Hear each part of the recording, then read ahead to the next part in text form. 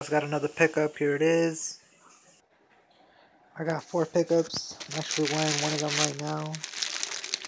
But I'm gonna take it off right now.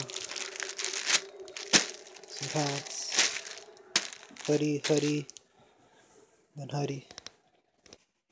First one, Hollister. Logo right there.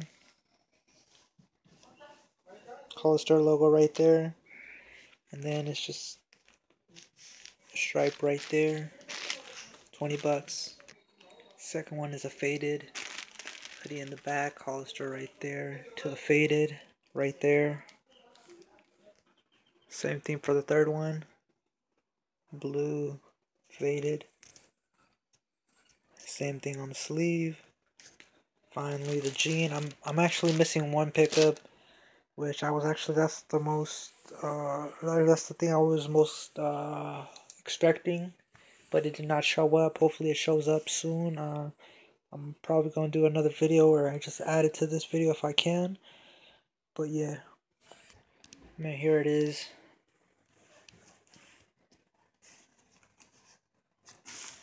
Let me show you guys. I actually haven't owned a pair of these in a while. It's a hybrid. It's supposed to be a chino plus jogger but you can also zip it into shorts. I remember I had a pair like this and I was used to mess around with this. So basically you could take this off and then turn these into shorts or you could put them on, turn them into pants. Uh, I don't know why it says jogger. No, no, but yeah, these were like 14 bucks. Decided to pick them up. Let me know what you guys think and also um I got a pair of uh, light washed uh, tapered denim, but they didn't come in. So if they come in and I decide to add it to the end of the video, it'll probably be right now.